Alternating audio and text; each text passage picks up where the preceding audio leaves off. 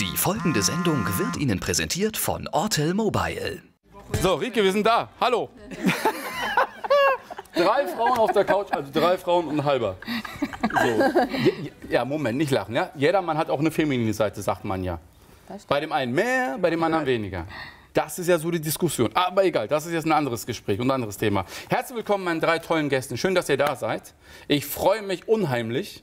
Ja? Guck mal, so, was kommt jetzt? Dass Frauen mal so sprachlos sein können, das glaubt man nicht. Aber in diesem Studio ist das immer möglich. Wir warten auf unseren Einsatz. Ja, die Frauen sind immer so sprachlos. Mit Katrin fange ich doch gerne an. Hamburg Women Connect. Die zweite Veranstaltung kommt jetzt äh, im Juli. Richtig, genau. Und äh, die erste hatten wir oder hattet ihr im mhm. Gaga. Korrekt. Gaga. Ja.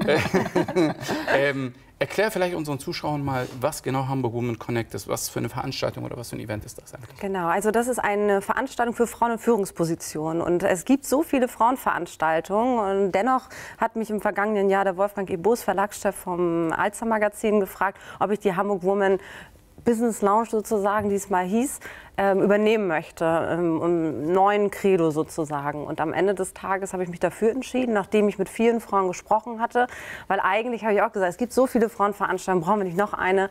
Aber nach Rücksprache mit vielen Frauen, Unternehmerinnen und Kundinnen vor allen Dingen hieß es dann, ja, wir brauchen sowas unbedingt, besonders für Frauen in Führungspositionen. So, und dann haben wir am Ende des Tages überlegt, wie gehen wir das Ganze an. Und äh, ja, so sind wir zur Hamburg Women Connect gekommen. neuer Name, ähm, neue Positionierung. Es geht wirklich um Business. Wir haben ein Talk-Thema und äh, das war beim vergangenen Mal mit der Frau Dr. Kronemeier, Medienrechtlerin, auch für Helene Fischer und andere äh, Stars. Ähm, ja, wie gehe ich als Unternehmerin oder äh, grundsätzlich als Prominenter mit der Presse um. So, das war das, äh, der Auftakt für unsere Reihe. Und das nächste Mal ist das Thema Working Mom. Ähm, kind, Karriere und ich, Fragezeichen. Auch ein wichtiges Thema. Also genau, so äh, hangeln wir uns mit vier Veranstaltungen durchs Jahr. Genau, und Hauptsponsor ist Auto Viecher, das auch noch mal zu erwähnen. Danke, mhm. Mhm. dass Gerne. das überhaupt möglich gemacht mein werden Auto, kann. Mein Auto ist auch noch nicht da. ja, dann. Aber genau. ich danke an dieser Stelle Nordostsee, ich habe ein anderes Sehr gut. Genau, und äh, es ist halt nur möglich, äh, diese Veranstaltungsreihe ist halt nur möglich, weil wir halt unterstützt werden. So, das ist äh, genau auch nochmal ein wichtiger Punkt. Aber die Frage ja. ist doch, als ich äh, das erste Mal davon gelesen habe, mhm. dass quasi Hamburg Women Connect wieder zurückkommt, war ja, ja ein, ein, bisschen verschollen zeitlich, so genau. ein bisschen weg. Genau. Aber dann denkt man ja dennoch, braucht man das heute? Ja. Braucht es die Frau? Genau, das habe ich mich auch gefragt, in der Tat, weil wie gesagt, es gibt so wahnsinnig viele Veranstaltungen. Aber ja, also die sind äh, wild da drauf, kann man ganz klar so sagen. Also ich habe mit äh, extra auch eine Mitarbeiterin eingestellt für dieses Thema, die dann wirklich tagtäglich Frauen auch kontaktiert hat und gefragt hat, ist das Thema interessant für sie? Und äh, ein, die Absagen sind, freundlicher habe ich noch nie Absagen erhalten, wenn sie denn nicht können. Aber nächstes Mal sind sie dabei. Also da merkt man schon, äh, innerhalb von kürzester Zeit hatten wir so tolle Frauen auch, die wir zusammengebracht haben. Und interessanterweise war es so, dass äh, ich wenn ich mit Frauen darüber gesprochen habe, am Ende äh, ganz tolle Synergien auch äh, in anderen Themen gefunden habe. Also das ist so eine tolle Plattform, dass man auch ins Gespräch kommt. Mhm. So, das ist halt, weil Frauen haben ja das Problem manchmal, dass sie nicht miteinander reden, obwohl sie so viel reden. So und äh, das dann. Hast du jetzt gesagt? Ja, es ist so, es ist so. Und äh, weil dann halt, äh, ja, und äh, das Gesprächsthema mhm. dann vielleicht doch ein anderes ist. Ja. Vielleicht äh, würde ich ja die nächste Frage an Ulrike stellen. Wenn man sich jetzt äh, über dieses Thema unterhält, vor allem, wo du sagst, Work-Life-Balance, ja, ja? Genau. Äh, die Frau möchte gerne mit 30 ein äh, Mutter sein, würde aber auch gerne Managerin sein und äh, möchte eigentlich nicht, dass die ganze Arbeit vielleicht auch der Familie bei ihr abgeladen wird. Ähm, du bist ja viel unterwegs gewesen, ja, jetzt mal außerhalb von Deutschland. Ich will ja eine Sache gerne wissen. Ist dieses Problem Work-Life-Balance der Frau nur in Deutschland so oder ist es auch in anderen Ländern so? Also meine Erfahrung ist, ich bin ja nun als Kind auch im Ausland gewesen und da war ich ja dann sozusagen das Kind äh, von Eltern, die eben auch managen mussten, irgendwie sehen mussten, wie sie es hinkriegen. Meine Erfahrung war tatsächlich im Ausland ist das Problem durch die Ganztagsschulen natürlich erledigt. Da ist es auch keine Gewissensfrage, sondern jeder ist in dieser Schule. Das heißt also, keine Mutter ist gezwungen, sich zu entscheiden, bin ich jetzt eine Working Mom oder a, a, a at home mom. Sondern äh, jeder äh, bringt die Kinder dorthin und dann hat die Mutter, sagen wir in England war es beispielsweise bis halb vier, ähm, konnte jede Mutter arbeiten gehen und äh, musste sich nicht von irgendwelchen Leuten immer distanzieren. Und da gab es dieses, was wir in Deutschland immer haben, dass wir dann so ein schlechtes Gewissen haben. Ach Gott, und jetzt, äh, du bist ja doch öfter mit deinem Kind zusammen, wahrscheinlich kannst du es auch besser fördern. Oder äh, dein Kind muss immer im Hort sein. Also diese Debatte ist natürlich auch eine Belastung. So schön das immer sich anhört, jeder darf sich entscheiden. Mhm. Und daher glaube ich schon in vielen Ländern, wir hören das ja auch in Frankreich, in Skandinavien, in England, ähm, in Europa sind wir leider in der Hinsicht, was jetzt auch die Berufstätigkeit, die Gleichberechtigung der Frau anbelangt, leider auch äh, traurig in der letzten Drittelgruppe. Ähm, das ist erschütternd für mich, weil wir ja sonst in allen anderen Punkten werden wir immer so als Vorbild für Europa gesehen. Und ich bin äh, da ganz klar der Meinung inzwischen, also da haben wir einiges aufzuholen. Und das ist, es fängt bei der Schule an, äh, die Betreuung losgeht. Und wenn eine Mutter eben, wie gesagt, einen Kindergartenplatz hat, dann hat sie ja noch nicht das Problem erledigt, dass sie dann auch später äh, die Schule äh, auch gut betreut haben möchte. Ja. Die Zeit nach der Schule, dann diese ganzen Hausaufgabenfragen. Ähm, ist immer noch so, dass akademische Mütter natürlich eben äh, bessere Startchancen bieten für ihre Kinder als natürlich Eltern, die Probleme haben, die Hausaufgaben eben zu begleiten oder eben auch zu fördern. Nicht? Mhm. Und insofern, das sind so alles so Punkte, die wir in Deutschland leider immer wieder, vielleicht kommt es auch durch diese Länder untereinander, die Bundesländer, die sich dann auch immer uneins sind. Ähm, das ist übrigens auch ganz schädlich für äh, Familien, die umziehen müssen. Also ich musste teilweise auch zwischen Bundesländern sind wir als Kinder zerrieben worden, mhm. weil wir immer überall in jedem Bundesland wieder andere äh, Schulrichtlinien, andere Fremdsprachen. Also in der einen Bundesland fängt man mit Englisch an, im anderen mit Französisch. Also wenn man dann umziehen muss ständig, dann ist das eine Katastrophe für die armen Kinder. Es ne? sei denn, man zieht um und lernt jedes Mal eine andere Sprache lernen, kennen. Also genau. wurscht, es kommt Super. drauf an. Äh, Alicia, die nächste Frage kommt äh, an dich, aber zuvor der nächste Clip des Abends und danach kannst du dich schon mal mental darauf vorbereiten. Ja? Wir werden natürlich uns über dein Business unterhalten und vor allem, wie ist dort das äh, Mann, äh, Frau oder beziehungsweise äh, der Geschlechterkampf. Ein tolles Feature, Cesar Axo mit äh, Tarkan und Produzent und DJ war in diesem Falle kein Scherz. Der Typ heißt nämlich Yashar Gaga. Ach. Der heißt wirklich so. Der heißt auch Gaga. Gaga, wie Das ist Zufall, ne? Das Gaga. Ähm, das Thema am heutigen Abend, ja, die starke Frau, die selbstbewusste Frau oder die Frau, die vielleicht auch sich entscheiden muss zwischen Beruf und Liebesleben und Kind. Kann auch sein. Äh, Alicia ist nämlich selber viel unterwegs. Genau. So, und wenn man permanent unterwegs ist, entscheidet man sich irgendwann als starke Frau bewusst für oder gegen ein Kind, eine Beziehung oder sowas in der Art. Also wie ist das? Äh, also ich habe mich nie dagegen. Ich bin dafür offen, aber die meisten Männer haben einfach das nicht akzeptiert, dass ich so viel unterwegs bin, weil viele Männer wollen die Frau zu Hause haben, dass man die auch betüttelt und das hat einfach nicht funktioniert. Und für mich war klar, okay, dann gehe ich erstmal meinen Beruf nach, weil das war meine Leidenschaft. Das einfach auszuleben war mega schön, im Ausland viel zu reisen. Und das alles mitzuerleben war unbezahlbar schön. Und jetzt, jetzt komme ich in so einem Alter, wo ich sage, okay, ich kann jetzt auch mal ein bisschen sesshafter werden. Und deswegen steht für mich in Planung ein neuer Laden, dass ich auch schön gesettelt in Hamburg bleibe habe ja auch einen kleinen Hund und daher Dein muss ich Baby. da mein Baby, genau. mein kleiner Ersatz. genau. Der braucht auch einen Babysitter. Also ein Baby. Und Ganztagsbetreuung für einen Hund gesucht. Genau. Also falls ihr jemanden kennt, Alicia wird sich freuen. Ähm, ist das denn für eine Frau wirklich so schwer heutzutage oder ist das nur ich, ich, Gerücht ist ein blödes Wort, aber man debattiert viel darüber. Ja, die starke Frau, die möchte ja viel bewegen, aber kann es ja nicht, weil sie sich für oder gegen die Familie entscheiden muss, damit sie beruflich erfolgreich ist. Ist das Realität oder ist es eigentlich nur eine Scheindebatte? Also ich würde schon sagen, dass es ein äh, eindeutiges Handicap ist, was man als Frau hat, wenn man dann eben gleichzeitig eben tatsächlich eine Familie gründen möchte oder verheiratet sein möchte und irgendwie einigermaßen auch so Life-Balance leben möchte, ist das schon für eine Frau doppelt schwer. Ähm, und insbesondere, wenn man natürlich Angestellter ist. Nicht? Also das ist nicht umsonst so, dass wir sehr viele, auch gerade bei uns in unseren Kreisen, dass wir sehr viele Frauen kennen, die selbstständig sind. Und äh, über die Selbstständigkeit lässt sich das natürlich wesentlich toleranter auch lösen. Nicht? Denn äh, wir haben das Thema ja heutzutage auch, muss man unbedingt noch im Büro sein oder hat die Firma auch genug Vertrauen, um zu sagen, Homeoffice ist möglich. Ähm, damals, als ich meine Tochter gekriegt habe, war das ein No-Go und ich war damals Worldwide Coordinator bei Saatchi Saatchi International und äh, das war natürlich eine Katastrophe, dass so eine Frau schwanger wird. Und äh, ja, aber es ist dann ja irgendwann mal so weit gewesen. Ich mein, wenn du den Satz ja. sagst, finde ich den echt traurig. Ja, ja, eben. Und äh, ich habe das auch gar keinem erzählt erstmal, habe das natürlich erstmal für mich behalten, habe das auch erstmal so verdeckt. Zum Glück konnte man das auch ein paar Monate lang noch so machen, weil das war bei uns eben so ein unausgesprochen, man durfte auch bei Bewerbungsgesprächen niemals sagen, dass man schwanger werden will. Das hat sich doch ein bisschen geändert. Ich erlebe das doch etwas entspannter bei den jungen Damen heutzutage. Aber in den Firmen das Organisatorische hinzukriegen, wenn man schon in der Führungsfunktion ist, ist natürlich auch schwierig. Nicht? Also gerade was wir gehört haben, wenn man viel reisen muss, ähm, wie soll das auch gehen? Nicht? Das sind Dinge, die sich gegen, äh, mhm. gegenüberstehen. Im Staat ist es eben so, dass man da wohl als Beamter dann die Möglichkeit hat, dann andere Positionen anzunehmen. In Agenturen, wo ich jetzt äh, tätig war, ist das schon etwas schwieriger. Man kriegt dann eben unattraktive Positionen angeboten, wenn man mal wiederkommt oder ähm, auch in der Zwischenzeit äh, denkt man eben, die Frau ist nicht mehr so belastbar. Äh, ab einem bestimmten Zeitpunkt mag das ja auch so sein. Ich musste zum Beispiel viel reisen. Ähm, dann hatte ich auch gerade äh, BAT äh, Worldwide, äh, Benson Hedges, ne, Discover Gold war ja so unsere Kampagne damals. Und, ähm, und da hatte ich die ganzen Raucher um mich herum und da war ja noch nicht Rauchverbot. Und dann saß ich in diesen Meetingräumen und hatte noch nicht erzählt, dass ich schwanger bin.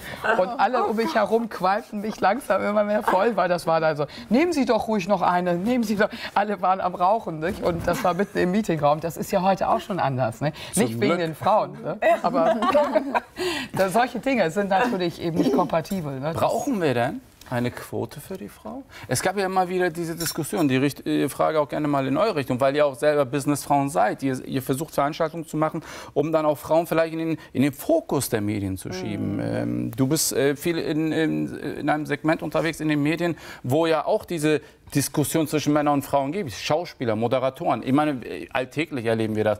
Äh, zwei Moderatoren moderieren eine Show, ähnliche Größe, ähnliche Reichweite. Der Mann kriegt doppelt so hohe Gage als die Frau. Ja, es ist Realität. Ist es vielleicht dann besser, dass man äh, zu dem Schluss kommt, dass man auch eine Quote in den Raum wirft und sagt, aber jetzt halten wir uns einfach mal also dran. Also die Frage ist ja, was für eine Quote? Gehaltsquote, ja, unbedingt. Äh, wie Transparent viele, zum Beispiel? Tra ja, gut. Ähm, also ich würde es auch gerne wissen, was meine Kollegen verdienen. genau. Ich glaube, ich verdiene am wenigsten. ja, darüber können wir gern gleich sprechen.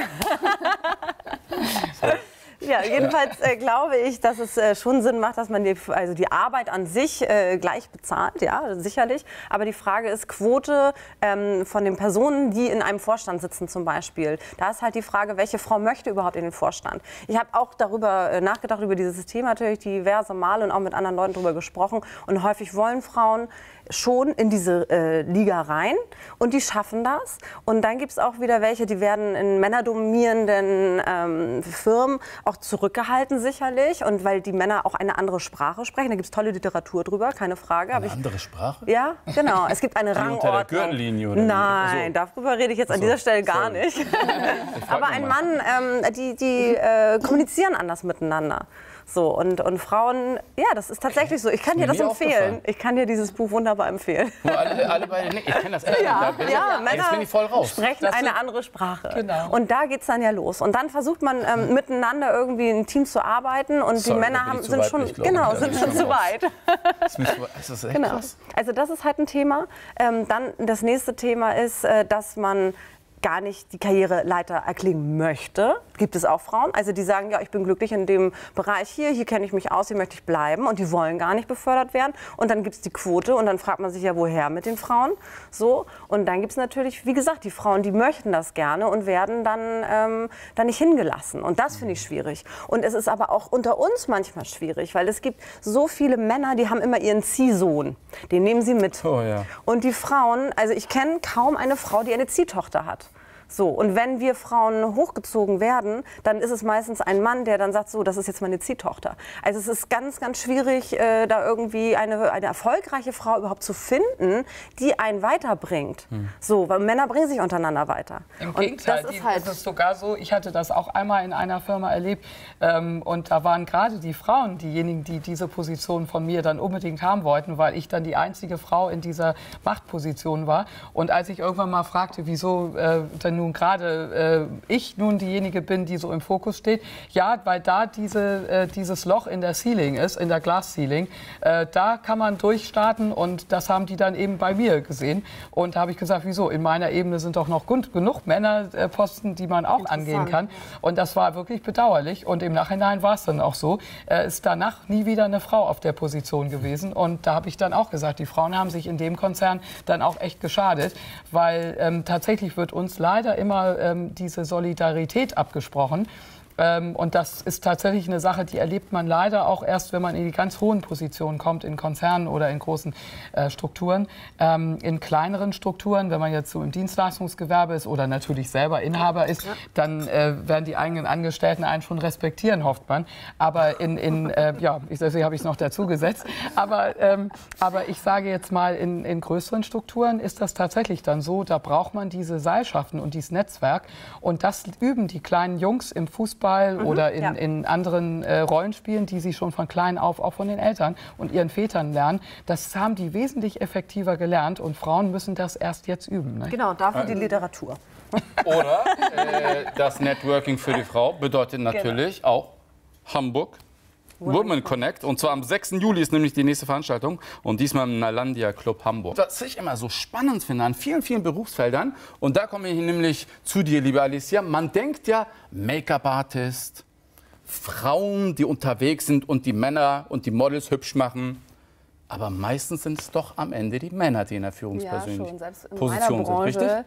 Dominieren auf jeden Fall die Männer, wie zum Beispiel Boris Entrup, der es sehr weit geschafft hat in Deutschland und ähm, auch in anderen Ländern. Ich weiß noch, die Fashion Week, als sie neu gestartet ist, haben die wirklich den Oberguru Franzosen, auch, auch einen Mann mit Kindern und der war der Boss und der hat die Fashion Week geleitet und das Ganze geschmissen. Aber warum ist das denn so? Es gibt so viele, sorry, nicht falsch verstehen, ja. es gibt so viele Berufsfelder, wo ich sage, na, schon weiblich, Frau, ja. und dann kommt der Geschäftsführer, der Oberguru ist ein Mann. Ja. Kapiere ich nicht. Mhm. Also da, da, da, läuft doch irgendwas schief, oder In nicht? In der Mode, im Modebusiness ist es ja auch überall. Das sind ja auch Männer. Ja. Die Modedesigner, meisten, also ganz wenige. Ich hatte auch jahrelang Gisander als Kundin, aber ansonsten es sind ja ganz, ganz viel an der Spitze. Immer wieder die Designdirektoren sind dann wieder Männer. Nicht? Und mhm. auch in Werbeagenturen, wir sind in Werbeagenturen, in Führungspositionen sitzen natürlich auch sehr, sehr viele Männer. Und es ist teilweise. Aber was fehlt den Frauen denn auf den letzten Metern? Ja, also Oder ist, ist wirklich der Mann schuld? So, wir wollen es jetzt mal sagen, ja? Jetzt mal Butter bei den Fischen. Ist der Mann schuld? Ich weiß es nicht. Es ist von jedem etwas dabei. Also klar, Frauen müssen natürlich so lange durchhalten, bis es eben oben angekommen ist. Also äh, zwischendurch, wenn man natürlich dann Kinder kriegt, ist das bisher ein Karrierehindernis gewesen. Ähm, natürlich ist das ein Grund, warum sie nicht oben ankommen. Wenn sie dann aber trotzdem, und ich hatte ganz, ganz viele Frauen bei mir, also ich glaube, ich war in einigen Agenturen immer dann die Einzige, die dann später auch alleinerziehende Mutter war und dann währenddessen äh, eine Führungsposition hatte. Und um mich herum waren die Frauen eigentlich fast alle kinderlos. Und trotzdem haben sie die letzte Hürde oder die letzte, vorletzte Hürde dann nicht bekommen. Äh, man hat dann mehr Vertrauen in die Männer gehabt. Und auch was, was du gesagt hast, auch mit den Gehältern. Ich bin da zwei, dreimal dann äh, an, an, der Spitze angekommen und durfte in die Bücher gucken und war dann entsetzt im Nachhinein, äh, dass man mir immer gesagt hatte, Mensch, toll und so weiter. Und ich guckte dann zu meinen Kollegen und dachte, Bitte? Sie haben das Doppelte verdient? Ja, das Doppelte oder mindestens ein Drittel mehr. Und äh, in allen möglichen Bereichen natürlich auch. Das Auto war dann immer besonders gut ausgestattet und sonst was. Da habe ich dann immer gesagt, ach, also das, das mit den Autos so kläre ich für euch. Da braucht ihr ja, keine ich sagen, das, das machen wir schon. Da haben wir genug ja. Beziehung für euch. Aber, Aber, das Auto ist ja nicht das Problem. Das ist ja das. Equal Pay, ganz schlimmes Thema in Deutschland. Ne? Man hat dann aber eine Chefin, die Muri, so, und die Mutti will ja äh, das ein bisschen, naja, sie versucht ja auch irgendwie durchzuboxen. Äh, die, die politischen, äh, sagen wir mal, die politischen Elite Angie? hatte auch mal, Angie hatte auch mal die Idee und sage, äh, sie hat ja sanften Druck ausgeübt mhm. auf die großen Firmen. Ja. Und hat ja sogar einige Firmen dazu äh, wie soll ich sagen, dazu verdonnert, dass sie Quoten einführen. Nichtsdestotrotz wurden die Quoten trotzdem nicht erfüllt. Das ist ja das Schlimme. Also ist es vielleicht so, ja, wie soll ich sagen, wie drückt man es politisch richtig aus? Vielleicht ist ja der Fehler auf beiden Seiten. Dass vielleicht die Frau auf der letzten, äh, vielleicht auch selber ein bisschen diese Hemmschwelle hat und sagt, naja, ich schaffe es eh nicht, also brauche ich mich nicht bewerben. Und der Mann, der vielleicht immer dasteht und sagt, naja, komm schon. Ja. Ist das vielleicht so ein Mix Es, es ist ein Mix davon, aber ich habe ja zum Beispiel bei uns am Institute of Design habe ich ja sehr tolle Mädchen und äh, ich sage natürlich auch, es ist eine Verhaltensänderung, die wir eben auch von Anfang an eben lernen müssen. Ähm, ich sage immer, also dieses äh, weibliche Verhalten, wenn irgendwas schief geht, immer bemitleidet werden wollen oder heulen oder solche Dinge. Man muss natürlich dann auch ein bisschen äh, auch versuchen, mal faire äh, Waffen zu spielen und äh, faire Waffen eben, sage ich eben zum Beispiel, dieses einfach beim Mann, wenn der dann eben mal böse ist, dann eben gleich in Tränen ausbrechen. Das ist eigentlich nicht in Ordnung, weil ähm, wenn man dann mitspielen will, dann muss man natürlich schon tough sein. Nicht? Und äh, das heißt nicht, dass wir jetzt gleich wie Männer aussehen müssen, ne? aber nicht immer so gleich. Kommt auch vor. Ja, aber, aber nicht so extrem. Denn die Bücher, die Ja. du jetzt da meinst, teilweise, da waren auch einige dabei, die habe ich einfach nicht akzeptiert als Vorbild. Ähm, denn ich habe mir das nie verbieten lassen, trotzdem wie eine Frau auszusehen. Das ist wahr. Ja, auch ein Punkt. Und da ja. haben viele zu mir gesagt, sie müssen jetzt eigentlich einen Hosenanzug anziehen oder sie müssten eigentlich die Haare jetzt weg äh, aus dem es Gesicht haben. Ja, Schmuck nein, man nur Männer, auch. Frauen Ja. machen das. Echt? Ja. Und das steht Ja. auch in diesen Literaturgeschichten Ja. drin. Total furchtbar. Wir sind doch verpasst, Frauen, ey. ja? Wir aber- sind Hä? Frauen und wollen auch Frauen nicht. bleiben. Ja, aber, ich würde dennoch- auch wollen, ja. dass meine Leute, meine Mitarbeiter, wenn es Frauen sind, immer noch Frauen sind. Ja. Naja. Ja, aber so sieht es da oben schappi-schappi teilweise gerade. aus. Ne? Wie ihr bemerkt habt, haben wir heute nur so die Creme de la Creme der DJs und Produzenten, so à la David Guetta. Ja, aber alles made in Turkey in diesem Falle. Alles erfolgreiche Musiker. Also bei, da geht auch ein Klick äh, auf deren Video, ich glaube bei, keine Ahnung, 25 Millionen los oder so. Hm. Also, Business äh, as usual. Jetzt kommt's, aber auch alles Männer. Komisch, ne? Äh, warte mal. Das ist für deine das ist Quote. na, das ist wirklich so. Alle erfolgreichen DJ und Produzenten sind Männer und die Features sind meistens weiblich. So, jetzt kommst du. Ja. Wo fangen wir an? Wo setzen wir die Quote an, meine lieben Frauen? Ähm, schwieriges Thema, vor allem, weil man ja auch in, in, in diesem Business, wo ihr unterwegs seid, ähm, ihr holt die Frauen zusammen. Ihr wollt, dass diese äh, starken Persönlichkeiten miteinander kommunizieren. Genau. Was ich aber auch sehr häufig Sag es. Frauen werden mich gleich hassen für den Satz. Aber ich, ich bin ja offen und ehrlich. Und ich sage euch, ich habe auch genug Frauen kennengelernt, die andere Frauen mit Absicht blockiert haben. Sicherlich. Ja, aber dann stimmt doch was nicht. Ja gut, ihr Männer seid ja jetzt nicht so, dass ihr euch nicht blockieren würdet. Ja, aber pass auf, das ist was anderes. Ich sagte, warum das was anderes? Guck mal, meine Mama, ja, ich liebe dich, Mama. Meine Mama ist eine Feministin. Ja, ich, ich bin ein, grundsätzlich ein Mensch, der sich dafür einsetzt, dass Frauenrechte, weißt eigentlich habe ich keinen Bock darüber zu reden, weil das für mich eigentlich eine Selbstverständlichkeit sein sollte. genau. Und wir nicht über Quoten, Quoren und der, äh, desgleichen uns unterhalten sollten. Ja. Müssen wir aber, sogar im 21. Jahrhundert. So, ich würde sagen, dass die Männer sich blockieren. Alpha-Tiere, das ist normal. Aber was ich manchmal nicht verstehe ist, wenn schon in einem Business von zehn, zehn Personen in Führungspersönlichkeiten neun Männer sind, ein Mann scheidet aus und die nächste Frau soll nachrücken, habe ich schon sehr oft erlebt, dass genau diese eine Frau ihr Veto eingesetzt hat. Das habe ich nie kapiert, warum. Sollte man sich nicht für... Oder sehe ich das falsch, Ricky? Du kannst mich gerne korrigieren. Ja, also ich, ich habe es ja selber auch so erlebt und ich glaube, das ist so, dass ähm, einmal kann man das ja vielleicht nicht immer so pauschalisieren. Wenn man ganz oben Ist angekommen ist, da wird es dann ja sowieso etwas enger und dann weiß man auch, äh, es gibt immer nur so diese eine Alibi-Frau und dann äh, haben die vielleicht, wenn man das mal liebevoll sagt, vielleicht auch wirklich Angst, dass ihre eine Position dann gefährdet ist. Wenn es dann fünf Positionen gäbe, die jetzt, äh, sagen wir mal so, wir sind äh, mit zehn Menschen im Vorstand ähm, und es gäbe fünf Positionen für Frauen und fünf für Männer, dann würden Frauen auch großzügiger sein. Aber meistens sind wir ja immer, also ich weiß, als ich jünger war, war ich immer Alibi Jugendliche und Alibi Frau. Da haben sie mich Ich bin der Alibi-Migrant, alles gut. Genau. Ich Und da komme ich komm auch damit seit zwölf Jahren Genau, durch. richtig. Aber da ich dann beide Positionen besetzt habe, haben sie nur einen Posten aufgeben müssen. Stimmt. Da war das dann besetzt, also Frau und Jugendliche. So. Und in den höheren Ämtern ist es eben häufig so, da sind dann eben wirklich, ist eine einzige Frau. Und da kann es natürlich sein. Das, ich will das nur mal versuchen zu verstehen. Ich bin nicht so. Aber ich habe es so erlebt, dass die dann wahrscheinlich Angst haben, dass man ihnen diesen Posten streitig macht. Mhm. Und, ähm, und was auch interessant ist, ist ja auch, welchen Posten man bekommt. Man bekommt einen Posten im Vorstand, aber meistens einen, der eben nicht mit Macht ausgestattet ist im Sinne von Geld. Männer ist das ja immer wichtig, dass sie diesen Gestaltungsrahmen haben. Und da sind natürlich die finanziellen Posten sind dann eben sehr attraktiv, also Finanzvorstand, ähm, aber auch der oberste Vorstandsposten eben. Und äh, Nebenpositionen wie Marketing oder Personal äh, die werden auch dann mal gerne in dem einen oder anderen Fall dann auch einer Frau gegeben oder im Design oder so, wo man sagt, naja, lass die da mal so ein bisschen äh, die Ästhetik und die Schönheit bestimmen. Nicht? Aber äh, wenn es um richtige Entscheidungen geht für den Fortbestand des Konzerns, dann äh, bleiben wir Männer mal unter uns. Nicht? Und das ist leider in Deutschland immer noch so ein Phänomen. Ähm, da muss man leider wahrscheinlich sagen, die älteren Damen, die ich kenne, äh, die jahrelang gekämpft haben, die wirklich Feministinnen waren, die sagen jetzt, es muss die Quote her, weil in Deutschland sind wir tatsächlich sowohl was die Bezahlung als auch eben äh, die Gleichberechtigung äh, in, in dieser Hinsicht äh, anbelangt, sind wir leider wirklich, wenn man Statistik sich anguckt, ganz, ganz weit hinten. Und das ist unser Problem, was mhm. wir jetzt eben auch versuchen wollen, so ein bisschen anzugehen. Ja, und deshalb gibt es ja dieses Event, weil die Frauen sind in verschiedenen Konzernen tätig, in verschiedenen Sozietäten, in verschiedenen Unternehmen. Und die einzelnen Alleinkämpferinnen sozusagen in ihren Männerdomänen, die bringen wir bei diesem Hamburg Woman Connect Event zusammen. Also das ist so die Idee hinter der ganzen Geschichte halt gewesen, dass solche Frauen endlich mal miteinander reden können, weil die haben dieselben Probleme, aber sie bekriegen sich nicht, weil sie haben ganz andere Unternehmen, für die sie tätig sind, ganz andere Branchen. Also das ist ja auch ein Punkt. Und die Frauen bringen wir zusammen, damit sie sich endlich austauschen können und sagen, hey, mir geht's genauso. Wie hast du denn das geregelt? So und das war im Prinzip der, der Hintergrund, warum ich gesagt habe, das brauchen wir, das müssen wir machen. Und das Schöne ist, man könnte theoretisch sogar dort mit Kind und Kegel hinkommen, ne? Ja, tatsächlich. Ha. Ja. Richtig. Siehst du, das ist mal klug gedacht. Ja, also die Möglichkeit. Also darfst deinen Hund mitnehmen, siehst du?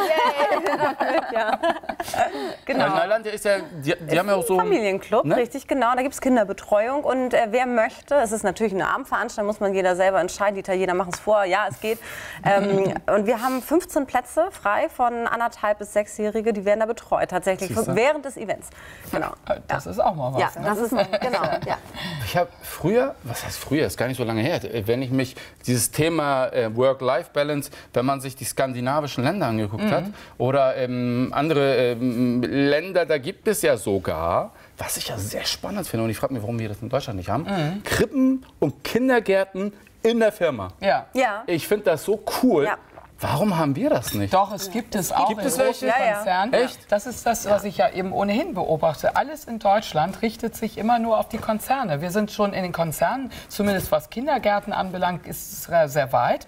Ich glaube, das Problem kommt dann mit der Schulzeit. Also als ich im Konzern mal tätig war, war meine Tochter bereits schon in der Schule und eben auch schon auf dem Gymnasium. Und da sind natürlich Herausforderungen, die können manchmal externe Arbeitskräfte oder externe Hilfe eben gar nicht erledigen. Nicht? Man hat ja einen ganz hohes Niveau, was man erreichen möchte mit dem eigenen Kind. Also bei mir in meiner Familie auf jeden Fall war es so, dass ich äh, auf Studium ausgerichtet war. Und dann hatte ich da wirklich teilweise echt große Probleme. Wen nehme ich jetzt als äh, Hilfe dazu? Ja. Ähm, ich hatte dann mal ein Au-pair-Mädchen, dann habe ich es mal ausprobiert mit, mit einer Oma, die konnte aber dann die Hausaufgaben nicht betreuen. Mhm. Also das ist wirklich schwierig. Also es ist nicht so ein, ein Zimmer, alle rein. Das geht noch mit den Kindern im Kindergartenalter. Aber später, wenn das da so unterschiedliche Interessen gibt ja. oder die wollen mal einen Sport ausüben, ähm, dann mit einem Hort, dann kannst du nicht im Sportverein sein und so weiter. Also das ist wirklich ganz, ganz kompliziert. Mhm. Und das alles müssen die Frauen immer so nebenbei so managen.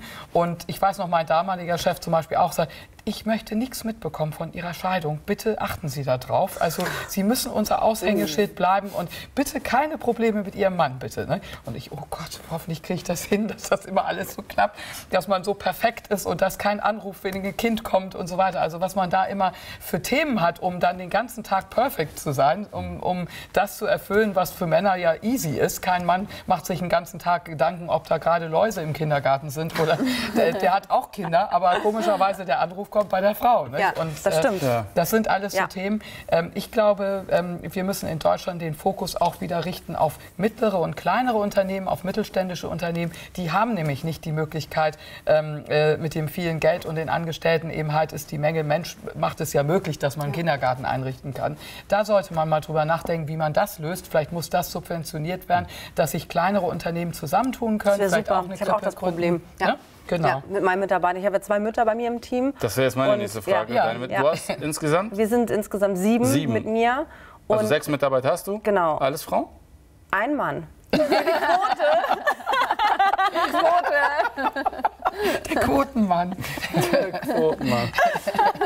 Ja, was ist mit eurer Quote? Warum gibt es bei dir keine Quote? Äh, was denn? Entweder Gleichberechtigung oder Gleichberechtigung. Es gibt keine halben Sachen. Das heißt, du müsstest ja theoretisch auch eine Quote Die einführen. wollen alle Sportmanagement studieren so, und nicht ja, okay. Eventmanagement. Ja, okay. Genau, und ich habe halt zwei Frauen, die ähm, Mütter sind. Und es ist tatsächlich so, die Väter sind auch berufstätig, aber der Anruf kommt bei ihr an. So, es ist so. Und sie geht mit dem Kind zum Ohrenarzt und sie geht mit dem Kind dann wirklich, egal äh, was für ein Thema ansteht, Hm. sie geht dahin. Eingewöhnungsphase, sie muss Urlaub nehmen. Der Mann macht das nicht. Also das ist halt auch die. Thematik. Das Ja, mein Bruder ist auch anders gewickelt. Mein Bruder ist derjenige, der zu Hause bleibt und seine Frau macht absolute Karriere. So, da ist es halt anders gelöst. So, aber die Frage ist Also, ja, welcher wenn Mann meine macht Frau das mit? doppelt so viel Gehalt verdient wie ich, Ja. bleibe ich freiwillig zu Hause. Kein Problem. Ehrlich, überhaupt kein Problem. Sie darf auch mein Mercy fahren. Kein Problem. Ich gebe ihr alles. Kein Ding.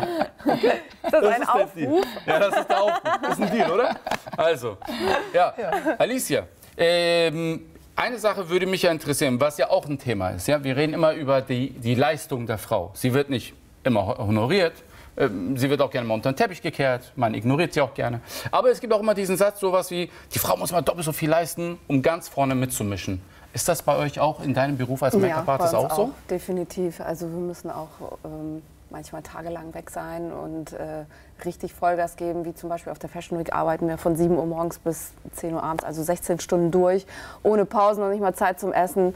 Also da ist wirklich Knochenarbeit. Also du warst ja sogar jahrelang Head-Off, ne? Ja, genau. Das war cool. Von 2006 Äh, bis, zwei- sechs bis jetzt. bis jetzt. Und äh, habe da auch mein Team gehabt, was ich geleitet habe und mit den Designern die Looks entworfen habe. Und dann mussten wir dann die ganze Show zusammenreißen. Das war schon Wir haben ja vorhin mal gesagt, die, die, die, die bekanntesten Head-Offs und die bekanntesten Gesichter waren ja Männer. So in der Modebranche auch Männer. Wie reagieren oder wie haben in deiner Zeit eigentlich die Designer auf weibliche Make-up-Artists Das ist reagiert? sehr witzig. Also dann wurde einfach der Boris geholt und er wurde interviewt. Echt jetzt? ja. Ich habe das Make-up gemacht und so und dann ja, kam dann der Boris dazu, weil ich meine, gut, der ist so der Kopf der Fashion Week. Klar, dann holen die den, aber da wurde er interviewt. Sagt man dann mal als Frau mal nicht, enough is enough, ich will jetzt? Genau, wie hätte ein Mann darauf reagiert? Das würde mich jetzt mal Ich hätte ihn so interessieren. Ja. Mann, ja. Was? Ja, Ich hätte es Ja, genau. à la Trump gemacht. Zack, zur Seite. Hier bin ich, mein Junge. Was gibt's für Fragen hier? Trump halt, ne? Trump-mäßig lösen. Ja, ab jetzt nennen wir das Trump-mäßig lösen. So, wir driften ab, liebe Freunde. Wir sind komplett woanders gelandet. Äh, ja. Bei der Liebe, das hat auch was damit zu tun. Argentur.net, die E-Mail-Adresse, die man sich merken sollte, falls ihr dabei sein möchtet beim Women Hamburg Women Connect. Am 6. Juli ist die nächste Veranstaltung. Also seid auf jeden Fall Herbst dabei. Oder im Herbst. Im Winter gibt es auch noch einen. Ich bin als erst beim nächsten. Step by step. Step by Step, Schritt für Schritt, äh, eins nach dem anderen. Äh, das andere Thema Männer und Frauen, darüber wollen wir heute nicht debattieren, weil das hört nicht auf. Darüber, darüber sollten wir eine Sondersendung machen. Männer versus Ja. Frauen. Genau. Ja? Und dann diskutieren ja, und dann drei Männer und drei Frauen. Oh ja. Und dann will ich mal schauen, wo die Sendung endet. Dürfen wir uns die Männer dann aussuchen? Nee, das wäre zu einfach. Schade. Nein, das geht ja gar nicht. Apropos, äh, kommen wir wieder zu dem äh, wahren Geschäft. Also, wir waren noch bei der Quote beim Quorum, all, all diese Ja. Sachen haben wir debattiert. Die Frau muss das Doppelte leisten, sagst du auch sauer, äh, selber, und wird am Ende trotzdem nicht beachtet.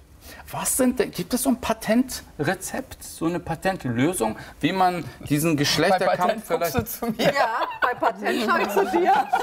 Gibt es so ein Patentrezept, wie wir das Ganze Also ich habe, ich hab, koordinieren? äh, mein Patentrezept war, dass ich mich nicht beirren habe lassen. Ich war authentisch, ich habe meinen Weg äh, weiter verfolgt. Ich habe mich da nicht beirren lassen und äh, äh, notfalls habe ich dann eben auch wieder eine andere Firma gesucht. Also äh, so nach dem Motto, wenn man mich nicht zu schätzen weiß, dann ziehe ich weiter. Und ich glaube, das ist auch so ein, so ein Appell an die jungen Damen, dass man sich eben wirklich ein Ziel vor Augen führt. Also das muss man haben, man muss fokussiert sein und muss natürlich dann auch dieses Ziel wirklich ohne Wenn und Aber und dann eben, wie gesagt, diese Weichei-Mentalität, die man sich dann wieder immer mal wieder, wenn es passt, in die weibliche Rolle und wenn es nicht passt, dann wieder in die männliche Rolle. Ich glaube, man muss wirklich einfach so bleiben, wie man ist, ganz gerade heraus eben den Weg gehen und dann am Ende des Tages aber auch immer wieder anfangen, selber zu fördern und zu stützen. Man kann nicht immer sagen, wo ist da oben die Frau, die mich fördert, sondern man sollte gleich von Anfang an, so habe ich es gemacht, ähm, eben auch andere Frauen mitnehmen und andere Frauen fördern. Also ich hatte auch immer Azubi-Linchen, nicht nur Azubis.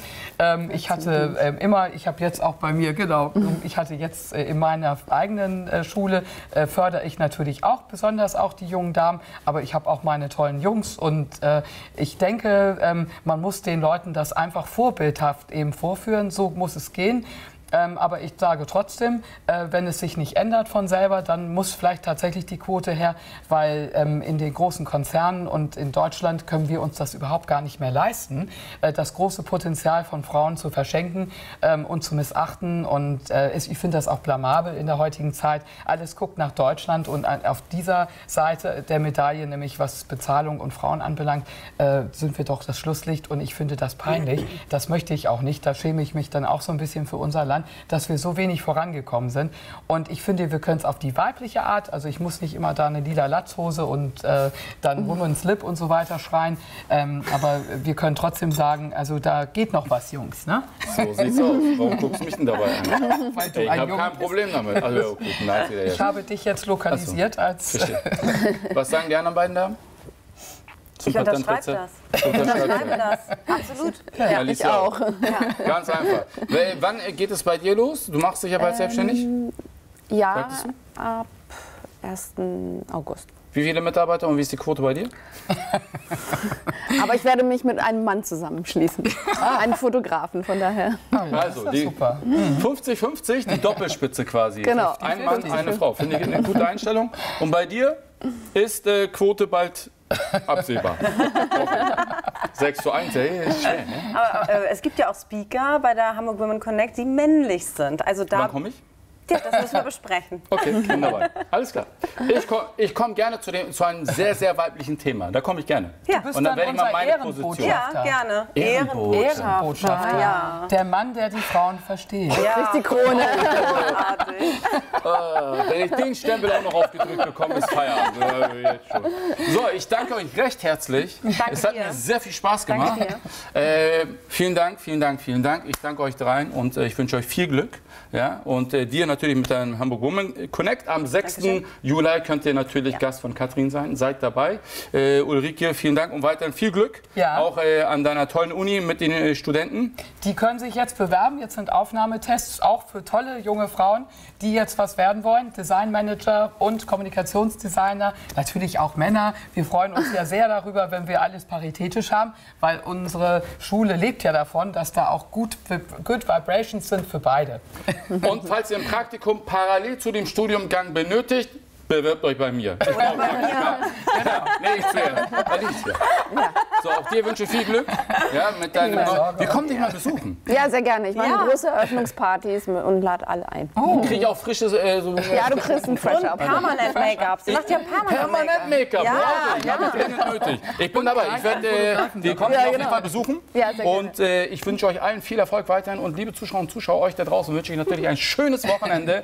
und ähm, Zwei Sachen vielleicht, die ich euch noch mit auf den Weg geben möchte. Auch wenn wir uns im 21. Jahrhundert befinden und eigentlich alles selbstverständlich sein sollte, worüber wir uns heute unterhalten haben, ist es leider nicht. Also mehr miteinander kommunizieren, mehr miteinander reden und gerne hier und da die äh, Dame ein bisschen, die Frau ein bisschen supporten und unterstützen, weil ich glaube, es gibt manchmal diesen, ich sage auch immer dazu, diesen femininen Blick ja, die, äh, was dem Mann fehlt.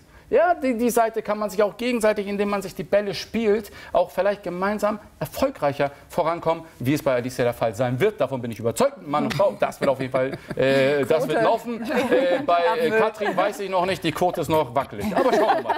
In diesem Sinne, schönes Wochenende und tschüss. Diese Sendung wurde Ihnen präsentiert von Ortel Mobile. Ortel, wir sprechen deine Sprache.